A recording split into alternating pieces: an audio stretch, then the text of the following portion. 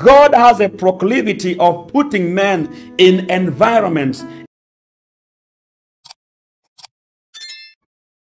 And in every environment, God expects you to be a ruler because He invested His dominion in your life.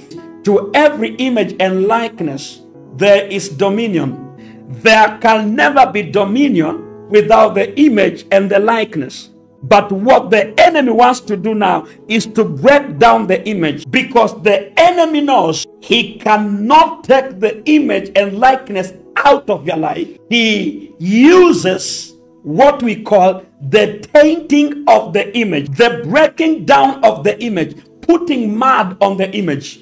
Many guys who are in the caves, they are in the caves not because the image and the likeness was taken away from them, but their image was tainted. The enemy will find ways on how to put mud.